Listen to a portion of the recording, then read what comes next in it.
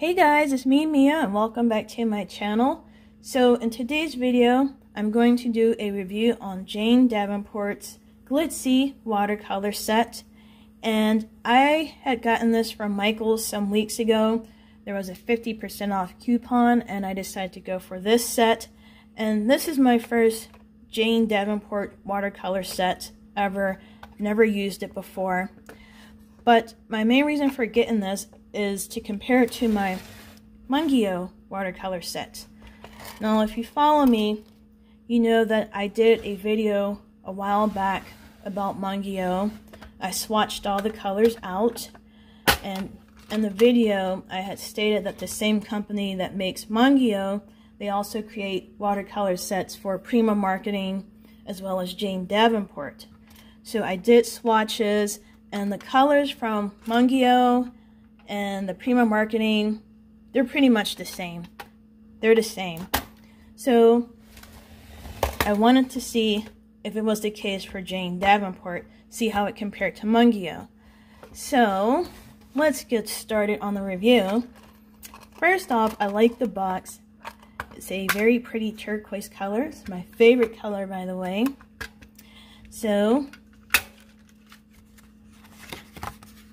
Comes with this card. Hello artist, this palette of fine watercolors features two metallic paints and 10 quote-unquote glitzy hues and so on and so forth.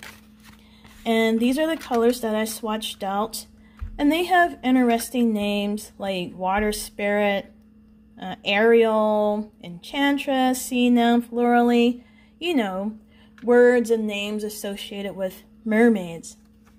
So I swatched these colors out and there's one, two, three, four, five greens, two blues that look too, like, they look very similar to each other. It's kind of hard to tell if they're two different shades or what. But what do you guys think? Do you think this is a glitzy watercolor palette? And if not, what would you put in your own glitzy watercolor palette? So, just let me know in the description what you think.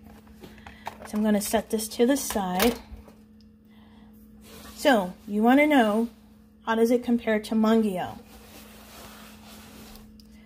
So right here, let me adjust the camera a little bit. So in this column, these are the glitzy watercolors. And this middle column, this is Mungyo. So let me zoom in a little bit so you guys can see up close.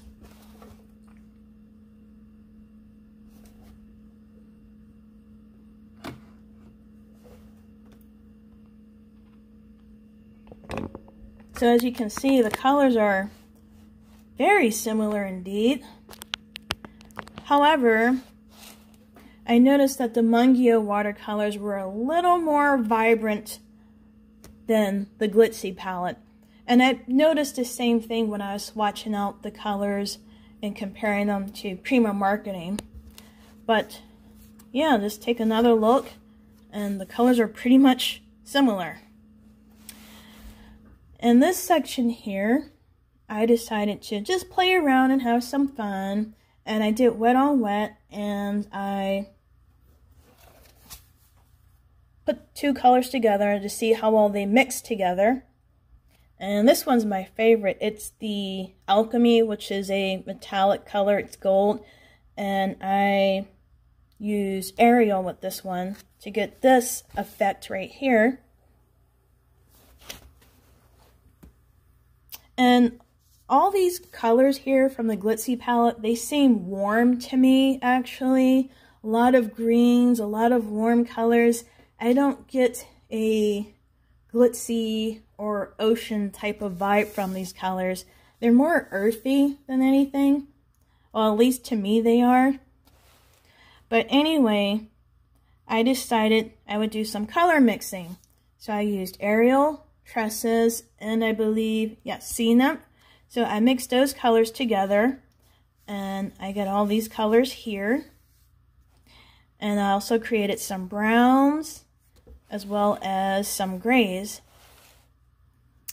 And when I had finished doing all of this, I looked at this section right here and I thought to myself, wow, this color palette right here, it looks so familiar. Why does it look so familiar to me?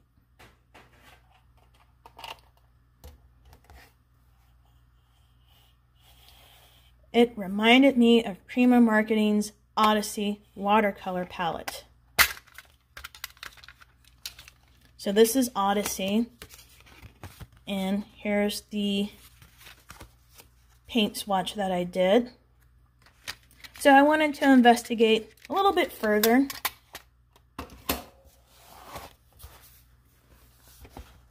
So right here, you see the glitzy column. Here is the Prima Marketing Odyssey colors. And then these are all the color combinations from the Glitzy palette that I made to recreate the colors from the Odyssey palette. Now I have to apologize, when I was swatching these colors out, I didn't line them up with the colors here, so they were out of order. So I had to swatch out the Odyssey colors again, so that way you guys can see side by side how similar the colors are after you create these mixtures. So let me zoom in. So as you can see, just by doing a color mixing from the Glitzy palette by Jane Davenport, I was able to recreate most of the colors from Prima Marketing's Odyssey watercolor set, except for two. I was unable to recreate Amsterdam and Maui because those colors are very saturated, very bright, very saturated, and I was unable to recreate those. But I was able to recreate everything else. So that's cool. And these are the formulas right here. So yeah. Oh, let me fix the camera. Sorry, guys. Okay. There we go. So, what's the final verdict? Well, the colors are the same. Uh, I, I did find uh, the Mungyo watercolors to be more vivid than Jane Davenport's.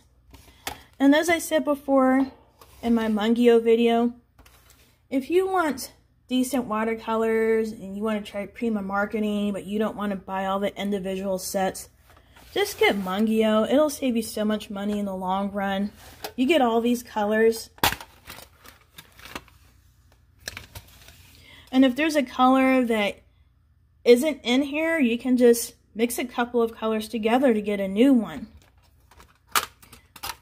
So, I believe this will be my last Jane Davenport watercolor set.